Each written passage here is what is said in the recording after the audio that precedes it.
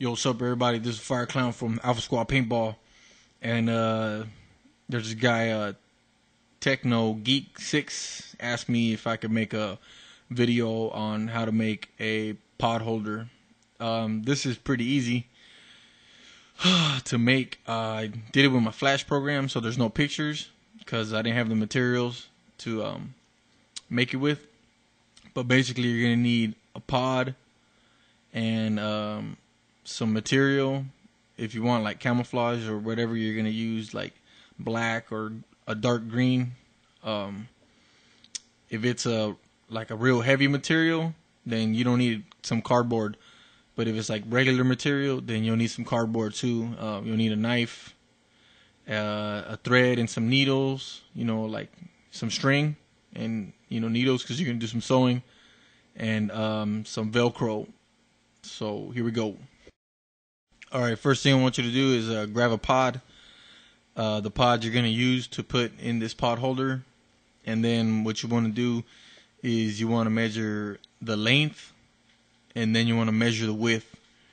And um, you want to go over probably like a couple centimeters, probably like a, like um, I don't know, just like you want to go over just a little bit so it can, so it can fit. You know, you don't want it to be exact. You know what I mean? Because you want it to, you know, be snug, but you don't want it to be too loose. You know what I mean? It's better it to be looser than super tight that it can't even fit in. So you make the call on that. So measure the length and width of it.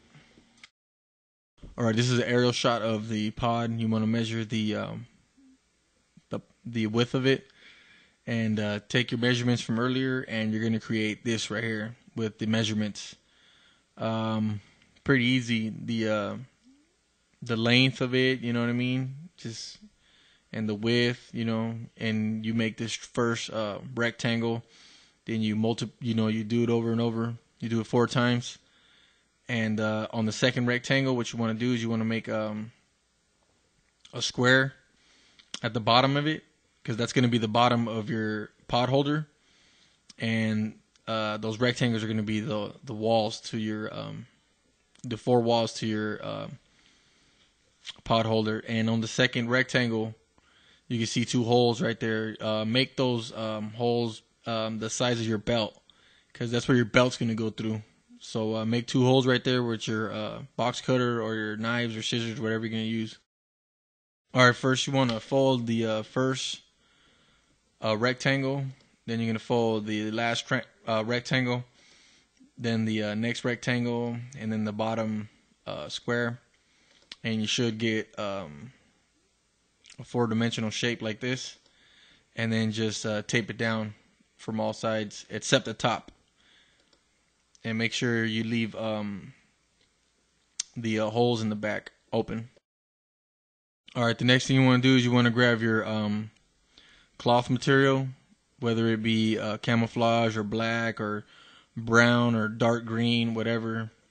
Um, and you basically do the same thing that you did with the uh, the box uh, measurements. You want to make the um, a little bit bigger though, like you want to make it um, so it wraps around it because uh, that box is gonna go inside of this um, cloth material once it's all sewn up. But as you can see at the top, where the arrows are pointing, there's a one more thing added there. That's what's going to be the cover. What's going to go over the uh, pod holder, and you're going to add Velcro to that later. I'll show you how. But what you want to do is you want to add another uh, square and uh, rectangle.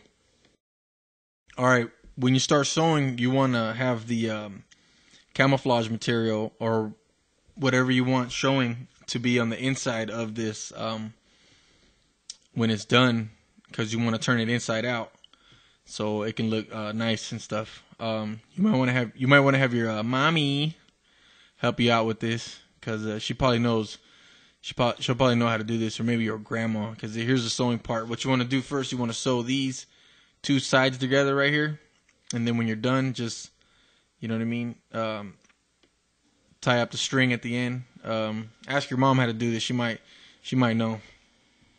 Then what you want to do, you want to go to the next one and you want to sew those together. And then you want to sew those uh, pieces together right there. And then you want to uh, eventually sew these pieces together. And it should come together like this after you turn it inside out. So it'll be um, four dimensional as well. And then where the arrows are pointing, you want to um, that's where you want to put your um, your uh, Velcro.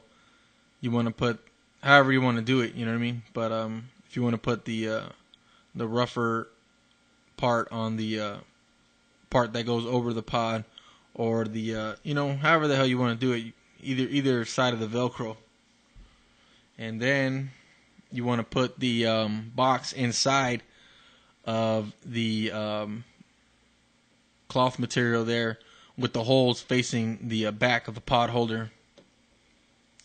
Whoop, and just slide it on in there, and uh, put your pod in there. See if everything fits good. Bam, fits nice. Then just close the top, and it should look something like that. But don't forget about the uh, the back. So flip it around. Excuse me, and uh, cut the holes in the back, and that's it. You got yourself a pod holder.